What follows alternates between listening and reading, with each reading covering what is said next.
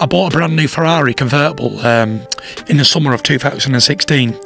And I was in it and I was on the highway. And there's a strip of the highway where I am. And at the bottom of about a five mile strip, there's a massive bridge that crosses the motorway. And I knew that. And I got the car up to 190 miles an hour. I was heading towards that bridge.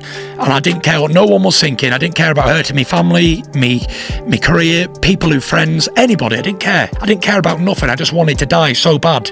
I give up on life. And just as I was heading towards that bridge at 190 in this Ferrari, I heard a voice say, No, don't do this, Tyson. Think about your kids. Think about your family and your little boys and girls growing up with no father. And everyone saying your dad was a weak man. He left yous.